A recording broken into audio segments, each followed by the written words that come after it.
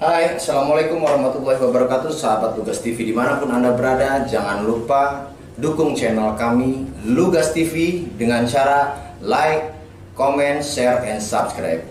Assalamualaikum warahmatullahi wabarakatuh. Sahabat Lugas TV di mana pun Anda berada Jumpa lagi bersama saya Pak Plafon Di acara diskusi publik. Yang mana kali ini dengan tema Pandemi COVID-19 melanda dunia. Sejauh apa pengalaman nakes? Tentunya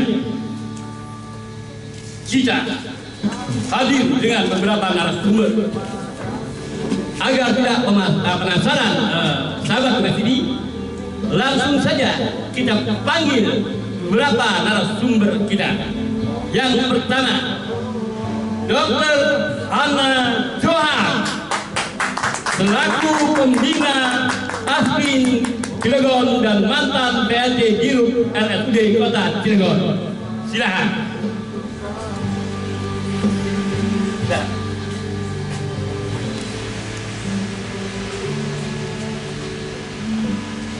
Dan yang berikutnya, Dr. Nur Hasan sebagai Ketua Asli Cilegon. Waktu sudah tepat kami silakan.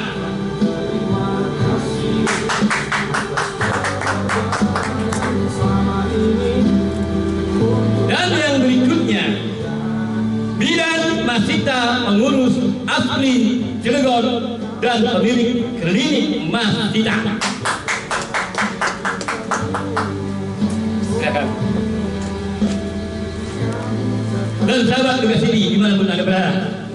Tentunya semua akan dibimbing atau didampingi oleh host kita yang tidak asing lagi Bang Sinaga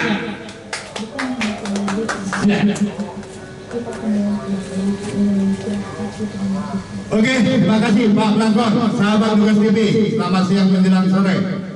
Uh, diskusi kita kali ini episode kedua di kantor kita, kantor baru di Lugas TV dalam suasana alam. Uh, saat ini tamu kita, sahabat Lugas TV dari ASPRIN, Asosiasi Klinik Indonesia Kota Cilegon. Tentunya selama pandemi ini mereka adalah garda terdepan. Kita mau tanya-tanya nih, sejauh apa pengalaman dan apa ini asli dan sudah uh, berapa vaksinasi yang dilakukan ke masyarakat Cilegon umumnya. Oke, saya sambut sahabat Lugas TV, narasumber kita. Bapak Ana Johan, siap, siap Pak? Siap. Yang berikutnya Dokter Nur Hasan, saya manggil abang aja. Siap. Siap. Ibu Masita, sehat Bu? Oh iya, terima kasih. Uh, kalau diskusi tanpa kopi kita kurang enak ya Pak Dokter. Ibu kira-kira kopi nih? Boleh ya? Oh enggak mau. Silakan. Kopi kita. Kopi Jawa ini Pak Dokter. Ada sponsor. Saya itu ya. Sore hari ini kita akan diskusi rileks ya. Uh, supaya sahabat Lugas TV uh, bisa mengikutinya dengan tenang. Jadi kita akan pertama memberikan pertanyaan nih kepada Asklin Asosiasi Klinik Indonesia Cabang Cilegon.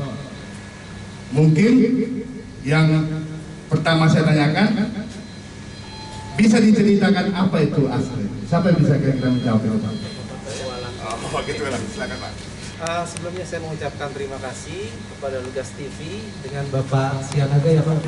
Oke, selaku pemimpin di Lugas TV yang telah meluangkan waktunya untuk mengajak kami teman-teman klinik uh, Kota Cilegon berdiskusi bersama untuk mengetahui uh, lebih lanjut apa itu aspirin, uh, kemudian berdirinya sejak tahun berapa dan bulan apa, kemudian juga berapa banyak anggotanya, kemudian uh, apa saja yang sudah kita lakukan dalam organisasi Asklin ini, dan uh, apa namanya sasaran vaksinasi yang kita lakukan untuk uh, khususnya masyarakat Kota Cilegon. Jadi uh, Asosiasi Klinik Indonesia atau uh, Asklin Kota Cilegon ini, uh, Asklin adalah uh, himpunan atau perkumpulan uh, dari klinik-klinik yang memiliki semangat yang uh, tinggi untuk meningkatkan mutu layanan kesehatan khususnya di Kota Cilegon. Nah untuk di untuk Aslin sendiri uh, itu Aslin pusat terbentuk kalau tidak salah itu tanggal 7 Maret 2012. 2012. 7 Maret 2012 itu yang di pusat ya Pak. Artinya kita yang di Cilegon ini terbentuk baru Pak 2018. Oh, Persisnya bulan 28 Juli 2018. Ya. artinya satu satu tahun setengah langsung pandemi ini. Ya. Gitu lah. Kurangnya segitu, eh, begitu Pak. Jadi memang eh, kita berdiri ada eh, lebih kurangnya sekitar eh, anggota kita itu 22 klinik Pak. 22 klinik di 8 kecamatan. Ah, kurang lebih Ya, lebih. seperti itu. Jadi memang artinya banyak klinik di Cilegon, tidak semua anggota ASPRI. Oh, Iya. iya, iya, iya. Karena memang kita juga karena ini kan perhimpunan ya, himpunan dan organisasi yang memang kita punya passion yang sama. Artinya di Kota Cilegon untuk eh, berkontribusi khususnya ya eh, di Kota Cilegon eh, agar eh, dirasakan manfaatnya Pak untuk warga Kota Cilegon. Oh, iya, iya. Sekian. Oke. Untuk kota Cilegon sendiri ada berapa tadi udah disebutin ya Pak ya? 22 22 as anggota anggota klinik ya. klinik betul.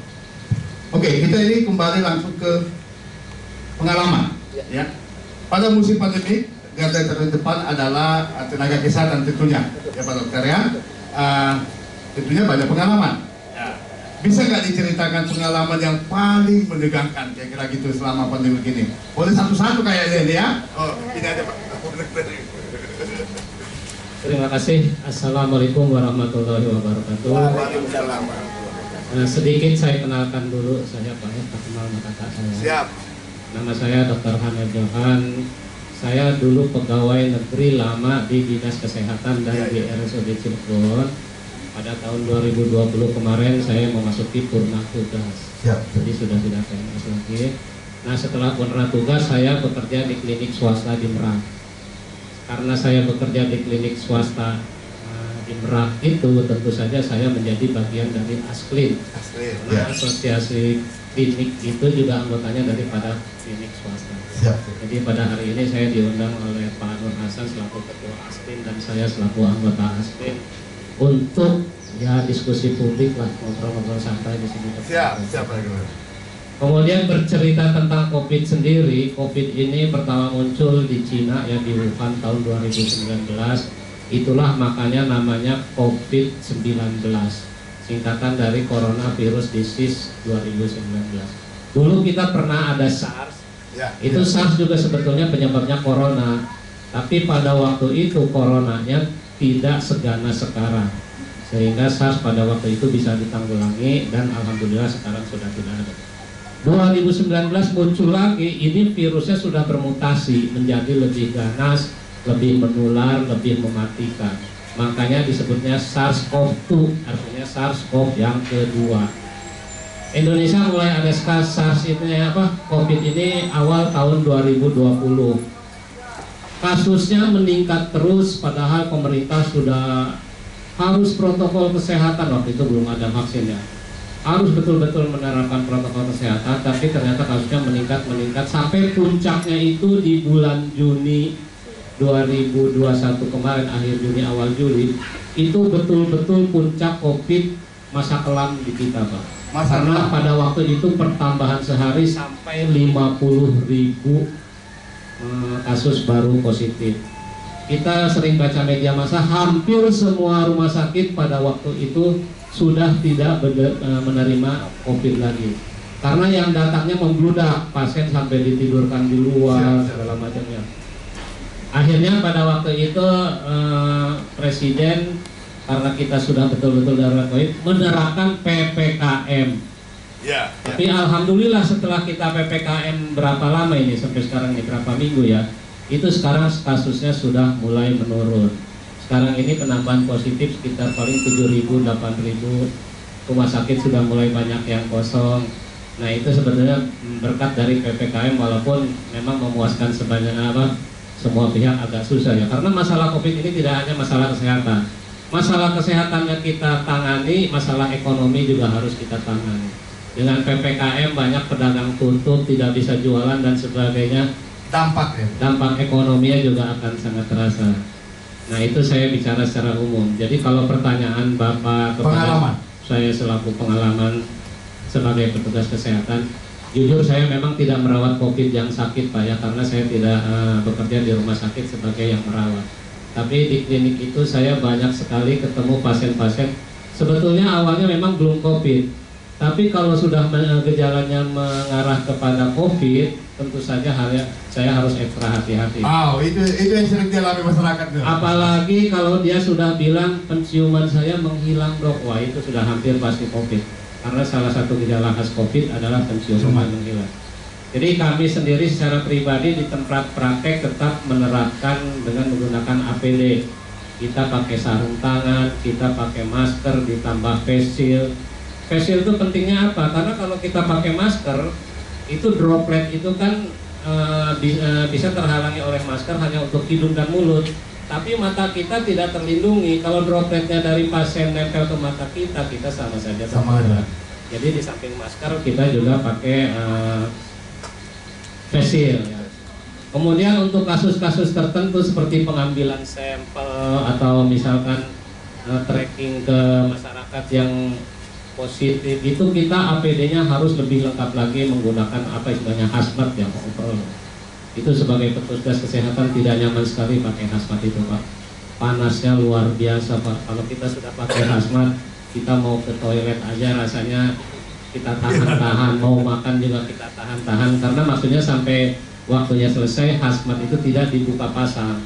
Mau sholat juga kita kadang-kadang aduh bingung karena ya kalau sudah pakai hazmat itu rasanya nggak bisa dibuka dicabut lagi dibukanya nanti setelah selesai semua. Itu pengalaman dari APD kita tetap harus pakai APD kemudian kita juga kami di klinik menyediakan eh, rapid test. Karena untuk mengetahui secara cepat apakah dia positif atau tidak. Kan pemeriksaan ada dua ada PCR ada rapid antigen. Kalau PCR itu lebih akurat tapi hasilnya lama satu dua hari baru keluar. Kalau rapid antigen eh, saat itu juga bisa keluar jadi untuk klinik-klinik kecil seperti kami, kami bertugas di kesehatan di klinik kecil, kami hanya menyediakan rapid test. PCR mungkin hanya rumah sakit rumah sakit besar karena investasi alatnya juga mahal pak ya kalau klinik kecil tidak kebeli ya. Oke. Itu sementara dari saya mungkin kalau ada Ah, pertanyaan, boleh tahu nggak Pak Dokter Ana Johan itu kliniknya apa nih? Saya di klinik Anissa Merak Pak. Anissa Merak. Iya. Baru satu Pak ya. Cuma satu itu pun bukan punya saya. saya praktek di klinik punya orang gitu. Oke, terima kasih Pak. Nanti kita nanti saya tanya lagi ya Pak ya. Oke, eh, kalau sebaliknya kalau pengalaman yang tidak bisa dilupakan kira-kira apa nih Pak pandemi ini? agak susah susah ya kalau pengalaman yang tidak bisa dilupakan karena ya itu saya tidak merawat tapi saya eh, berobat jalan ya itu kalau sudah ada pasien yang menurut saya sebetulnya sudah hampir pasti positif tapi pasiennya tidak mau diperiksa lebih lanjut Tidak mau diperiksa lebih lanjut. orangnya sudah sesak penciumannya sudah hilang secara klinis saya bilang ini pasti covid secara klinis ya belum tahu. tapi disuruh periksa lanjut ke tempat lain ke rumah sakit nggak mau ke puskesmas nggak mau dia minta pulang aja. Ya secara hak asasi saya tidak bisa memaksa tapi saya akan berpikir dia pulang itu nanti jangan-jangan menularkan ke anak istrinya ke Oh iya iya. tetangganya itu pak. Itu sebenarnya jadi apa ya dalam hati saya ternyuh gitu pak ya. Inginnya kita sih kalau memang udah pasti positif kan kita ada tiga. Tracing testing treatment. Tracing itu artinya kalau ada yang positif harus kita cari siapa kontak erat bisa kita nanti kita periksa untuk memutuskan rantai penularan-. Oke, mungkin eh, Pak Dokter Nur Hasan ada pengalaman Pak? Baik, terima kasih. Kalau saya pribadi mungkin uh, ada pengalaman yang memang uh, terutama di kuartal kedua ya, yang di bulan Oh. Juni Juli itu ya. Iya, iya, iya. Masa itu sangat-sangat kasusnya meningkat sekali ya. Hampir rumah sakit di Indonesia bahkan di Cilegon juga Cilegon, ya. Ya, ya karena uh, tidak sebanding dengan Ya, jumlah uh, yang peningkatan yang begitu pesat ya. Uh, sebetulnya uh, sangat miris ya pada periode itu ya karena kita sebagai tenaga kesehatan kita memiliki moral yang harus kita uh, apa namanya pertanggungjawabkan ya sebagai tenaga kesehatan. Waktu itu saya di klinik ada uh, me- uh, megang menterapi pasien uh, yang memang saya sudah lakukan antigen ya hasilnya positif dan juga memang uh, spesifik dari klinisnya juga positif. Ya artinya ada anosmia, ada demam, ada batuk, ada pilek ya. Sebetulnya harusnya pasien tersebut kita rujuk ke rumah sakit ya. Karena uh, itu penuh tadi itu overload rumah sakit yang saya harus uh, juga berdiskusi dengan pasien coba kita coba isoman dulu di rumah dulu pak. Nah saya waktu itu hampir megang 10 pasien isoman pak. Wow. saya kontrol itu pasien by WhatsApp by telepon ya Uh, bukan itu aja uh, uh, permasalahannya kita bisa diskusi dengan pasien kita bisa kasih edukasi tentang covid penyakit pencegahannya yang kendala pada waktu itu khususnya obatnya Obatnya. obat itu sangat sukar didapat pada saat itu. Jadi itu memang jadi problem bersama ya pada saat itu ya. Alhamdulillah saya kontrol 10 pasien di rumah. Eh, memang sih kalau saturasi oksigennya masih bagus di atas 90 ya. Masih bagus, masih layak untuk isoman di rumah. Kita berikan edukasi ke pasien, kita berikan terapi sesuai dengan protokol Covid ya. Kita uh, apa namanya berikan edukasi uh, harus tetap protokol yang baik ya dan juga harus isolasi. Alhamdulillah tuh uh, pasien membaik, membaik. Alhamdulillah 10 pasien itu membaik ya. Uh, dan uh, pasien itu memang uh, apa ya? Dia sangat-sangat takut sekali kalau COVID yang dideritanya itu menjadi perburukan karena pada waktu itu rumah sakit penuh. Ya saya kontrol dan akhirnya kita isoman 14 hari dengan dengan protokol dan pengobatan sesuai dengan uh, COVID, pasien berangsur membaik. Tapi ada juga yang waktu itu pasien datang ke klinik saya memang saturasi sudah sangat-sangat turun. Ya, kita sebetulnya dari anamnesa pemeriksaan fisik kita sudah mengarah ke COVID. Waktu itu saya coba arahkan ke rumah sakit dan uh, rumah sakit waktu itu kalau nggak salah rumah sakit uh, RSUD atau mana gitu ya, saya nggak tahu juga. Dan uh, pada saat itu mungkin pasiennya diterima, kebetulan ada tempat di situ. Ya saya dengar kabar sih kondisi pasiennya ada perburukan, tapi uh, kelanjutannya saya tidak tahu seperti apa. Ya mungkin itu hal hal uh, apa namanya suka duka kami ya di FKTP terutama di Faskes karena memang poinnya kita di klinik itu kan tidak untuk perawat. Ya kita tidak untuk perawat, tapi kita harus cari solusi. Kalau rumah sakit penuh overload kita kan tidak bisa memaksakan juga. Nah, itu uh, isoman itu isolasi mandiri itu adalah apa namanya pilihan yang yang tepat yang terbaik pada saat itu. Mungkin sekian dari saya. Oke, ada Ibu Bidang tambahan pengalaman selama pandemi begini Ibu Iya, tentang terima kasih Pak Sinaga. ya, makasih. Eh, kalau saya itu karena kliniknya itu lebih spesifik ke kebidanan ya, Eh, karena mungkin basic saya itu adalah bidan, cuma kami dalam semua klinik sebetulnya melayani itu, cuman saya itu memang mm, lebih ini ya dok ya, lebih saya men, apa ya mm, menspesifikkan kalau saya itu pelayanannya lebih berat di titik kebidanan gitu ya. Nah, jadi eh, ini eh, enggak ini juga ya pak ya. Justru kebidanan ini yang memang rawan sebetulnya ya. Kalau orang datang sudah mulas sudah ini ya udah datang pembukaan lengkap antigen positif. Ini antara harus ditolong dan merujuk juga waktu bulan Juli. Sama seperti yang kata dokter Nur Hasan antigen positif itu saya alami dok. Positif gejala ada tapi kepala sudah nongol. Nah ini. Jadi itu uh, uh, spot-spot jantungnya itu luar biasa ya pak ya tapi Bismillahirrahmanirrahim pada waktu itu saya cuma berpikir ya Allah ini eh, tidak akan mungkin ini dipersembahkan kalau tidak saya harus lakukan gitu ya, ya. ya, ya. Akhirnya Bismillah kita lakukan, kita eh, ini dan proses persalinannya juga eh, lumayan gampang. Mungkin Tuhan kasih kemudahan kepada kami dan eh, kita tetap prokes. Nah jadi masalah ketika eh, habis lahiran kan nggak mungkin juga disuruh pulang gitu ya. Jadi tetap juga kita awasin sekitar lebih kurang 6 jam dengan eh, prokes ya. Tadi itu kalau yang seperti itu kan nggak ini pengalaman banget ya Pak. Antara harus nolong harus juga jaga kesehatan diri sendiri dengan tim. Eh, gimana itu Pak? Campur aduk. Pak Sinaga bisa tahu kan gimana? Kalaupun mau merujuk ini butuh waktu ya dokter Hasan dan pada waktu itu semua rumah sakit itu overload.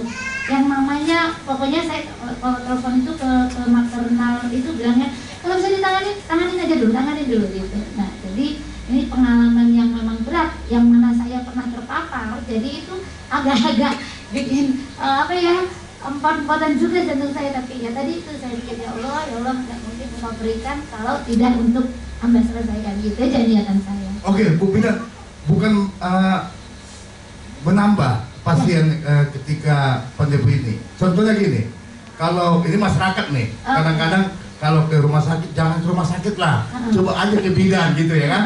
Ini gimana? Meningkat nggak masyarakat datang ke bidan untuk periksa kesehatan tubuh aja? ya Pak ya kalau karena eh, apa ya nah, kalau rumah sakit orang sudah berpikir ah di sana banyak kopi di sana banyak kopi jadi Iya. itu Itu yang dialami masyarakat. nah lah ini menuai ke, ke kita yang mungkin klinik-klinik itu lebih lebih banyak yang mau eh, apa tuh yang Ya udah kita memilih- ngambil pilihan ke klinik Nah, kira gitu ya, Bu ya, Bidan ya. itu. Jadi lebih ya itulah ada plus minusnya buat kita sendiri gitu. Oke. Ah, jadi ini kembali ke Asklit, ah, Asosiasi Klinik Indonesia. Jadi kan ada 22 ya Pak Dokter ya.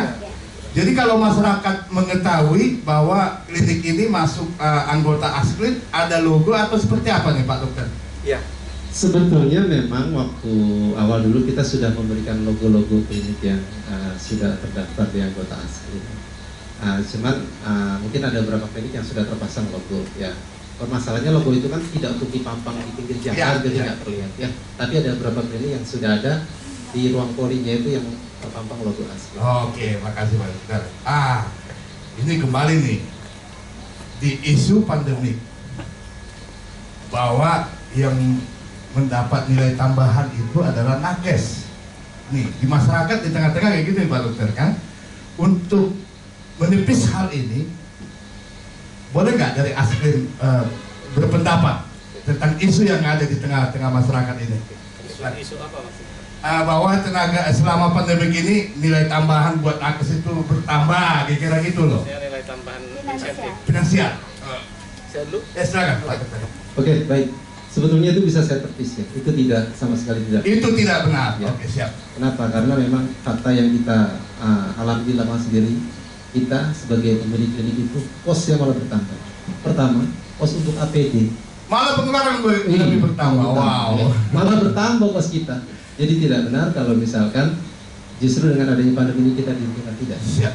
Kita malah selain pos kita bertambah untuk APD level 3, kita kan harus yang dokter Hana bilang tadi harus spesial ya, kemudian kacamata Google, Untuk kos. butuh kos, masker dan segala macam itu kan juga tambah lagi memang kalau kesulitan barang itu harganya naik. Iya. Jadi gitu ya. Jadi dan kedua kita juga sebetulnya harus ekstra terhadap karyawan-karyawan kita, nakes kita di klinik. Kenapa? Kita ah, kita juga selain memberikan pelayanan karena risiko kita tertular itu sangat-sangat besar. Ya, jadi kita harus berikan mereka jam istirahat yang cukup dengan rolling pekerjaan dan juga mungkin kita berikan suplemen vitamin itu kan memang dari kita pribadi artinya. Jadi seperti itu Pak. Jadi mungkin kalau eh, untuk eh, dari ini saya itu saya saya rasa tidak. Ya. Oke. Ada tambahan dari Pak Najwa tentang isu yang ada di tengah-tengah masyarakat. Terima kasih Pak. Memang kalau saya baca di media masa katanya ada insentif untuk nakes. Tapi terakhir saya baca pun sampai sekarang insentif nakes itu belum keluar. Ah, itu pertanyaan saya nanti berikutnya nih. Mohon maaf, mohon maaf kalau saya salah ngomong ya. Tapi itu mungkin dijawabnya oleh harus pemerintah yang Siap. mempunyai kewenangan. Dan kita kembalikan ke nakes secara umum, saya melihat itu nakes itu pengorbanannya bukan saya membela nakes ya. Angka kematian pun sekarang sudah Siap. sangat tinggi, Pak. Dokter yang meninggal menurut ini sudah berapa? Sudah banyak sekali yang belum perawat-perawat ya. Kemudian yang meninggal itu bukan yang menangani COVID saja, Pak. Jadi saya lihat dokter spesialis objin meninggal kena covid. Logika kita kan dia kan menolong persalinan. Objin kok bisa meninggal karena covid? Iya, iya. dokter spesialis anestesi meninggal karena covid. Ada juga padahal tugas dia kan cuma membius pasien. Bukan pasien covid tidak perlu dibius. Jadi kita melihat dalam situasi pandemi ini semua penyakit harus dianggap ada covid. Karena kita tidak tahu pasien usus buntu mau dioperasi Nah kita nggak tahu dia ini positif atau enggak karena dokter bedah juga sama juga yang tertular meninggal karena COVID. Di kita juga perawat-perawat juga begitu. Pokoknya semua pasien yang dirawat bukan kita mengcovidkan pasien ya. Kalau mengcovidkan pasien itu bahasa negatif nyinyirnya masyarakat seolah-olah pasien bukan covid dicovidkan oleh nakes supaya dapat duit dari pemerintah. Padahal tidak juga pak ya. Tapi kita sebagai petugas kesehatan harus menganggap bahwa dalam situasi pandemi ini pasien ini ada kemungkinan COVID. Artinya walaupun sakitnya apusus buntu sebelum operasi cek dulu rapid antigen. Ada pasien mau melahirkan walaupun bukan COVID hanya hamil cek dulu rapid arahnya ke sana Pak. Karena pada kenyataannya betul Pak, hampir semua dokter spesialis nggak hampir semua ya. Banyak dokter spesialis yang sebetulnya tidak ada kaitannya dengan penanganan COVID, kenyataannya mereka meninggal dengan positif COVID. Jadi itu kita uh, dalam situasi pandemi begini menganggap aja lah semua pasien uh, mungkin OTG mengandung COVID jadi penanganannya. Jadi walaupun bukan positif bukan COVID belum positif COVID kita sudah pakai uh, APD lengkap sekarang ini Pak hampir semua dokter. Oke, sahabat tugas TV, semakin menarik ini. Silakan Pak, ngopi dulu kita.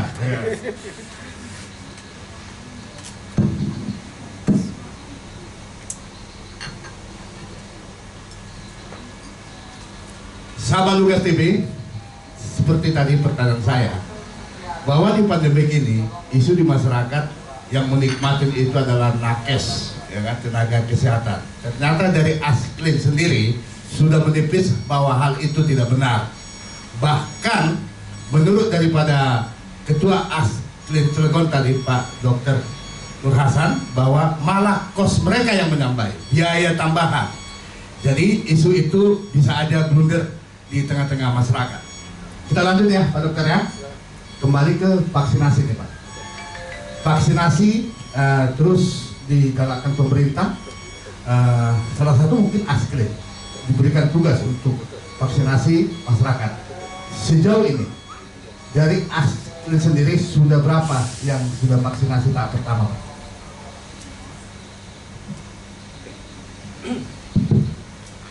Uh, jadi uh, perlu diketahui bahwa memang uh, ada uh, dalam vaksinasi ini pemerintah juga melibatkan pihak swasta juga untuk uh, percepatan vaksinasi ya di Cilegon ini. Mungkin ada lebih kurangnya utamanya mungkin pasien yang sudah uh, klinik yang sudah kerjasama dengan BPJS karena dia terintegrasi dengan care ya. Oh, iya. Itu hampir sekitar klinik yang kerjasama BPJS itu lebih kurang hampir sekitar 20-an. Ya, 20-an ya ada juga yang uh, ada juga di luar itu yang kalau tidak salah itu ada tiga. Uh, mungkin sekitar 23 klinik yang uh, melayani vaksinasi uh, COVID ya.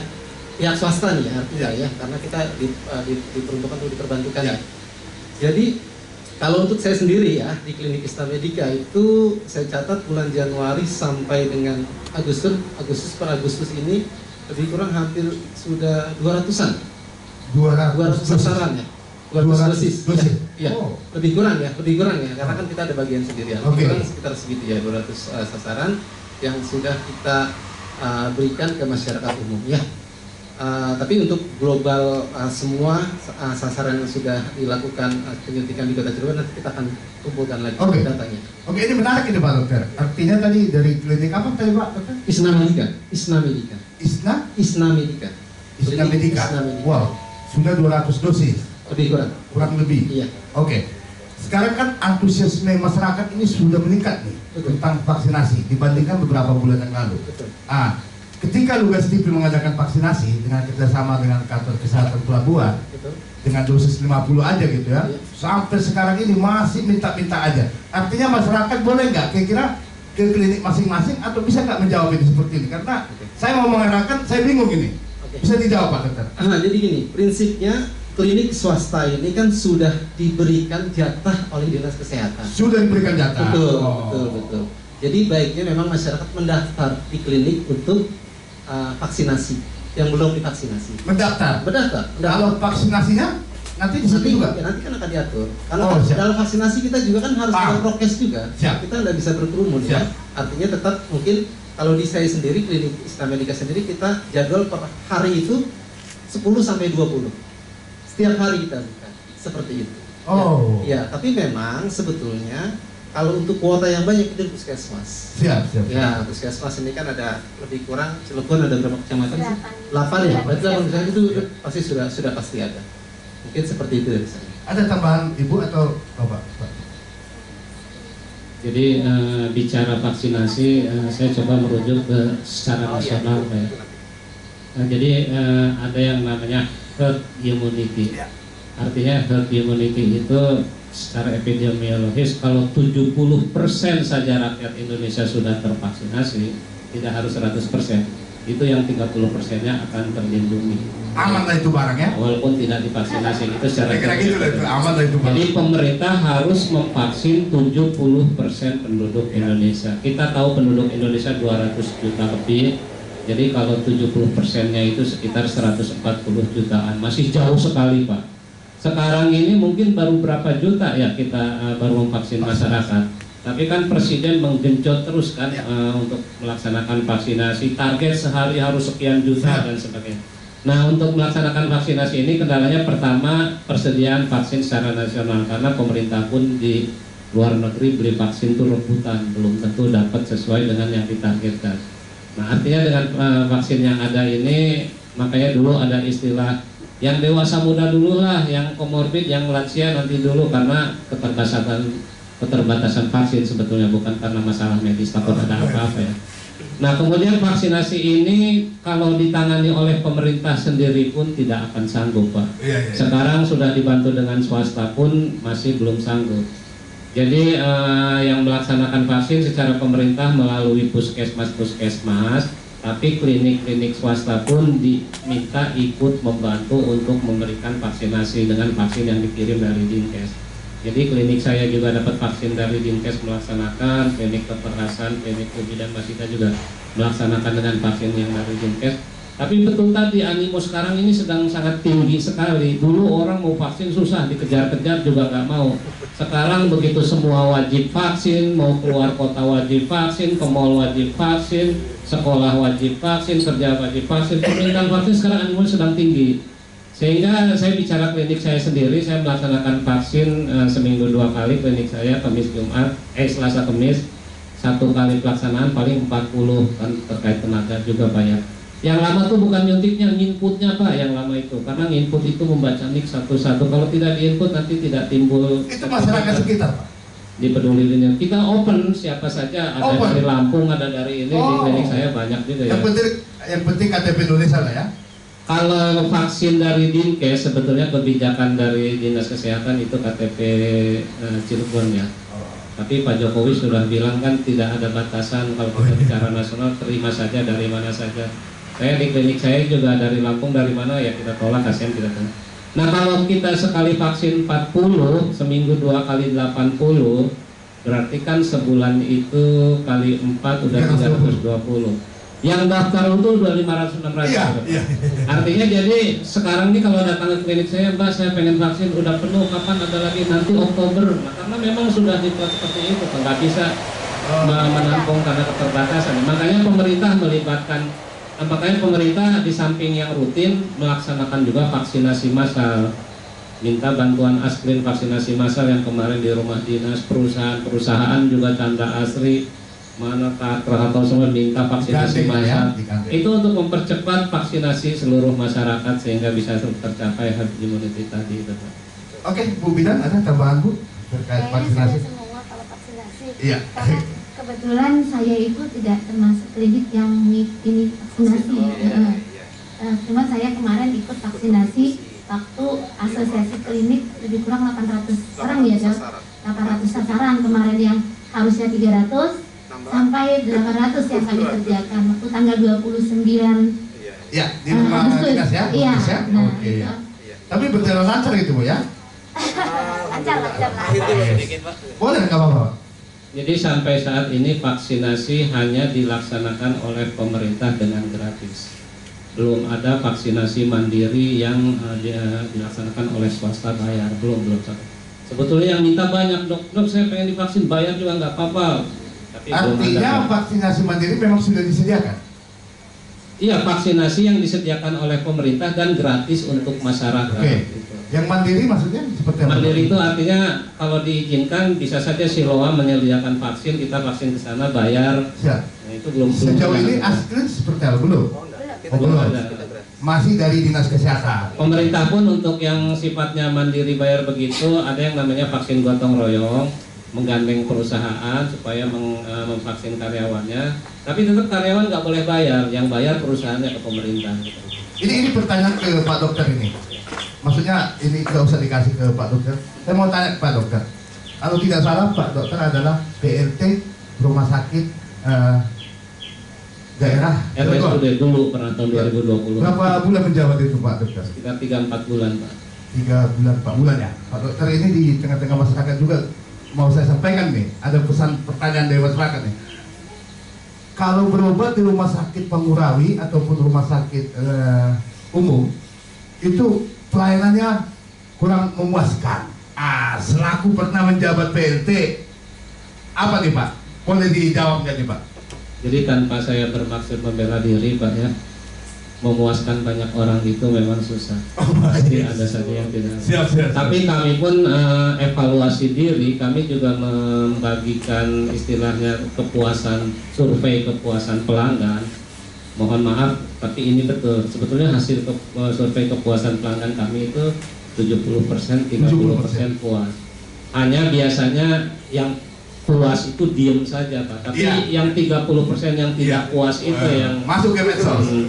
Tapi kami kami pun tidak tidak tidak istilahnya tidak menghindar dari yang tidak puas. Kita sediakan juga kotak saran di situ. Pada waktu itu sekarang kita sediakan juga kotak saran untuk yang tidak puas tidak puas. Kita juga ada website itu keluhan-keluhan yang tidak puas juga bisa melalui website rumah sakit. Nanti di situ kita analisa baru kita selesaikan. Memang akui ada saja ya itu. Kalau tapi kalau melihat ke teori ya seperti itu Pak. Hmm, Mohon maaf waktu itu saya survei kepuasan pelanggan sebetulnya 70% puas. Hanya yang 30% ini yang teriak ke media, ke wartawan dan sebagainya. Oke, luar biasa, luar biasa. Ah ini ini eh, pertanyaan menarik ini ah, Pak Nur Hasan selaku ketua aslin ataupun Pak Dokter Bu Bidan bahwa ada pemerintah akan memberikan anggaran nakes atau insentif ya kalau nggak salah ya. Ah sejauh ini saya dengar-dengar dapat informasi juga saya bahwa eh, belum cair atau seperti apa nih khusus askil sendiri di kota Cilegon seperti apa nih Pak? Eh, mohon maaf ini insentif apa ya Pak? Ah, anggaran, anggaran, Anggaran anggaran apa nih? Anggaran vaksin apa Pak? anggaran nakes. Nakes. Ah, Ah, itu jadi layanan ya. jasa layanan ya. Jadi sebetulnya gini kalau untuk eh, yang saya tahu pasti itu yang ada anggarannya itu biasanya vaksin Pak. Oh vaksin. Iya vaksin. Kalau layanan dari apa namanya nakes yang mengalami COVID, saya pribadi sih nggak Oh iya. Oh. Ada. Jadi untuk layanan vaksin jasa layanan vaksin. Betul betul. Oh. Ya karena kan eh, pihak pemerintah pihak eh, pemerintah kan melibatkan swasta dalam hal ini ya. Siap. Ya kalau ditanya saya, ditanya ke saya, apakah dana eh, vaksin sudah cair? Saya jawab belum. Oh belum. Ya, ditanya lagi saya, kenapa? Coba konfirmasi ke yang bersangkutan. Oh, iya, iya, iya, iya. Ya, Oh. tapi memang saya garis bawahi, memang artinya kita ini eh, kalau kita sama-sama ingin mempercepat vaksinasi di Kota Cilegon, ya, artinya selain kesediaan stok vaksinnya harus terpenuhi, eh, sarana prasarananya, nakesnya juga harus ada, yang pasti juga haknya mereka juga harus ter, ter- apa terpenuhi juga ya. Artinya kalau memang uh, ada anggaran uh, terkait dengan vaksinasi, uh, uh, kalau memang baiknya kalau bisa dipercepat untuk dicairkan ya dicairkan. Artinya biar teman-teman nakes juga semangat juga. Tapi bukan artinya kita uh, kerjanya orientasinya hanya pada itu pak. Tidak ya, karena kan kita semua juga berkontribusi untuk uh, percepatan vaksin ini. Mungkin Oh. sekian dari saya. Iya. Oh jadi artinya tadi eh, jasa vaksin Ya. eh, per klinik itu kan beda-beda tadi. Uh, sebetulnya sama saja Pak. Oh, sama kan aja. kita buka vaksin kan periode Januari sampai dengan Agustus. Ya. Betul ya? Kalau saya pribadi dari penanggung jawab vaksin di klinik saya, untuk anggaran Januari sampai dengan Maret itu sepertinya tidak ada. Mulai di SP, eh, SPJ kan, SP kan, SPJ kan itu dari bulan April sampai dengan bulan Agustus tiga bulan. Nah, itu juga belum cair juga. Kalau ditanya kenapa belum cair, coba konfirmasi. Oh iya, Tapi Steve. Menarik tapi, tapi artinya gini, artinya Eh. juga mungkin uh, mungkin kalau proses pencarian itu kan juga ada ada persyaratan yang mungkin dilengkapi. Mungkin juga ada beberapa klinik yang belum melengkapi persyaratan-persyaratan tersebut. Mungkin seperti itu. Mungkin ada tambahan Pak Dokter. Jadi tadi seperti pertanyaan Dr. Hasan betul, jasa ini sebetulnya ada dua Pak ya. Jasa insentif dalam kita melayani dan merawat pasien. Yang kedua jasa insentif eh, pada sukarelawan vaksin karena kan vaksin ini gratis masyarakat tidak ditarik bayaran otomatis yang nanti tidak dapat apa-apa kan. Nah mengenai jasa eh, insentif untuk pelayanan perawatan pasien itu biasanya di rumah sakit pemerintah Pak Oh. karena anggarannya juga dari APBD jadi dokter-dokter perawat di rumah sakit pemerintah itu eh, nanti ada jasa tambahan dalam merawat pasien COVID tapi di rumah sakit swasta rasanya tidak ada ya Sih. Ada jasa vaksin tadi. Kalau di Nah, swasta. nanti saya bicara perawatan dulu ya Oh.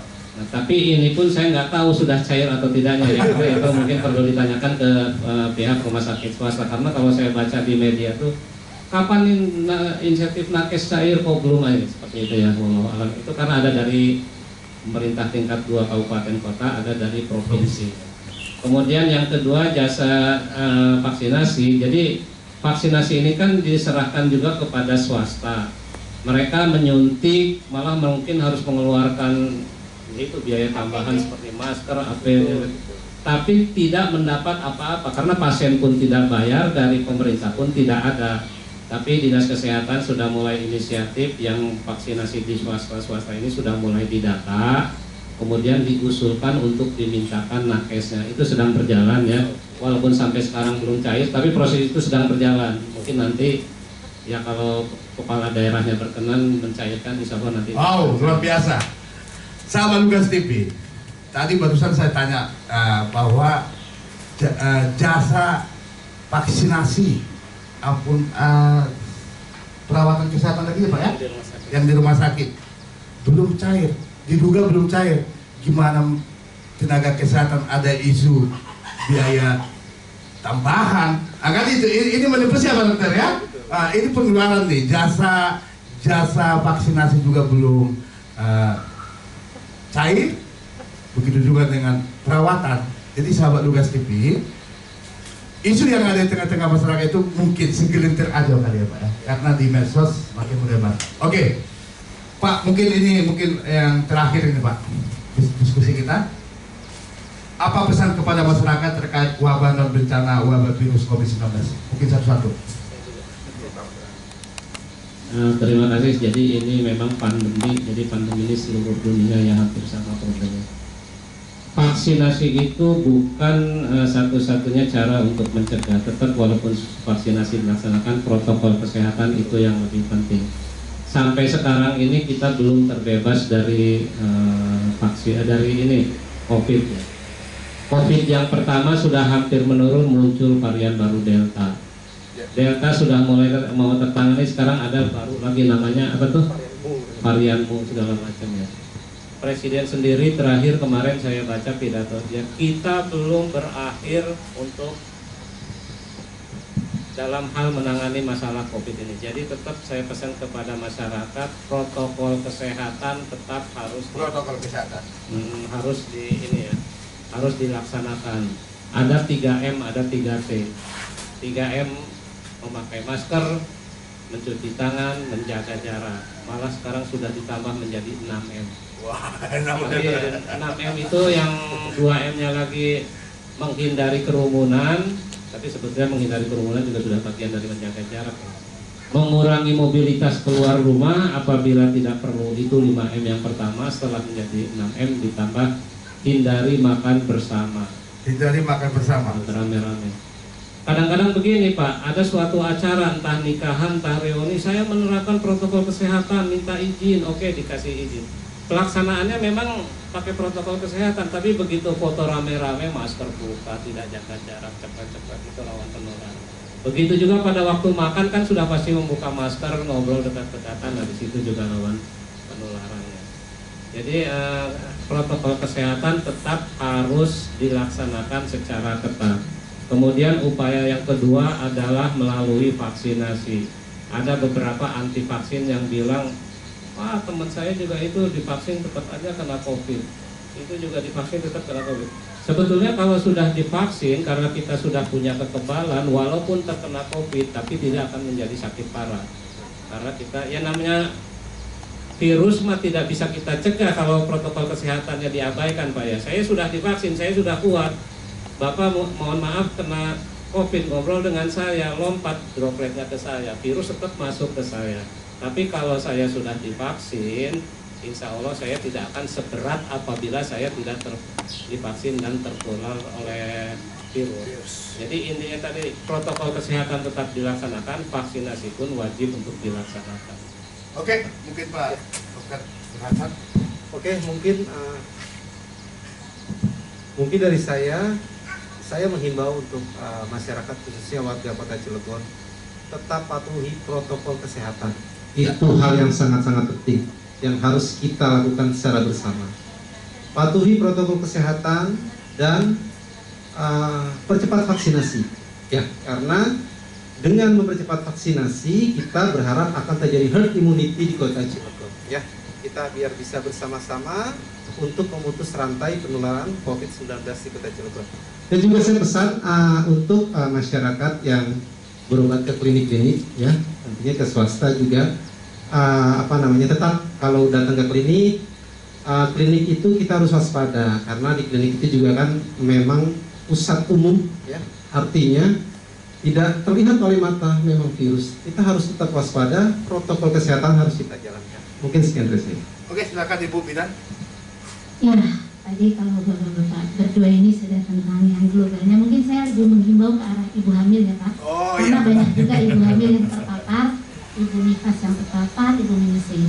Nah, karena memang sudah ada himbauan bahwasanya vaksin itu aman untuk ibu hamil, menyusui, dan eh, eh, yang tadinya belum boleh sekarang sudah. Jadi eh, mari ibu-ibu hamil, ibu-ibu yang menyusui atau yang lagi promil lakukan vaksinasi segera agar herd immunity dapat tercapai segera. Itu saja kayaknya Pak. Oke, makasih Ibu Bidan Masita, Bapak Dokter Nur Hasan, Bapak Dokter Ahmad Johan. Terima kasih diskusi kita pada sore hari ini. Dan saya kembalikan kepada Pak Lakon.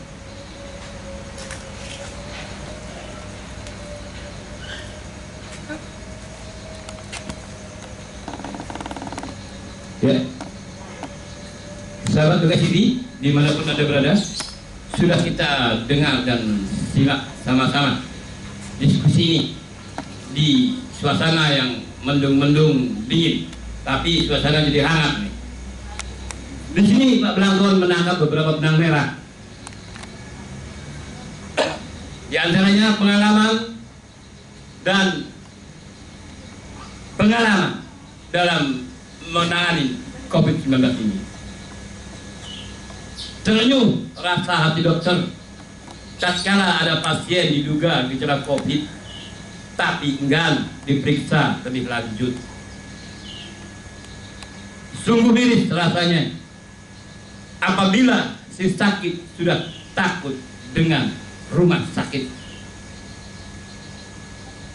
Dan yang terakhir pemirsa, sangat merah ini benang sepertinya dari narasumber kita. Masalah kesehatan harus kita tangani. Masalah ekonomi pun harus kita tangani. Agar tidak meninggal karena COVID dan tidak meninggal karena kelaparan. Sampai jumpa di session berikutnya.